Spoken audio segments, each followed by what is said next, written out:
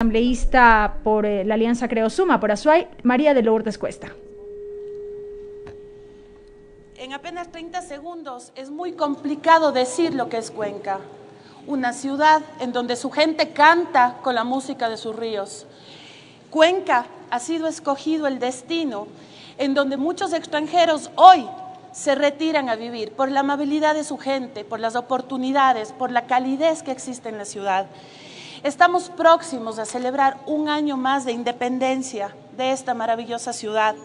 Y por eso quiero pedir a ustedes, señores legisladores, nos apoyen con la aprobación de una resolución que permita reconocer a Cuenca como un destino turístico de calidad, que permita que se abran nuevas fuentes de empleo, que los ecuatorianos tengamos en Cuenca una casa más en donde acoger a tanto nacionales como extranjeros.